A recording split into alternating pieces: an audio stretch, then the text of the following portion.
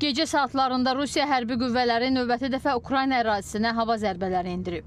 Hərbi hava qüvvələrinin məlumatına görə bütün hava hədəfləri 8 şahid dronu və 3 kalibr tipli qanadlı raket vurulub. Kiyev son 12 gündə ilk dəfə olaraq dron hücumuna məruz qalıb. Pilotsuz uçuş aparatlarının hamısı vurulsa da, onların qalıqları 3 yaşayış evinə ziyan vurub. Son məlumatlara görə bir nəfər yaralanıb. Cəbhədəki son vəziyyətə gəlincə, Ukrayna ordusu Baxmut istiqamətində irəliləməkdə davam edir. Bu barədə ordunun şərq cəbhəsinin rəsmi nümayəndəsi Sergey Çirivat açıqlama verib. O, cinahlarda döyüş əməliyyatlarının davam etdiyini bildirib. Çirivatının sözlərinə görə azad edilmiş ərazilərlə bağlı ətraflı məlumatlar müfəssəl təhlil və yoxlamalardan sonra açıqlanacaq. Fərda Abbasova, ASTV xəbər.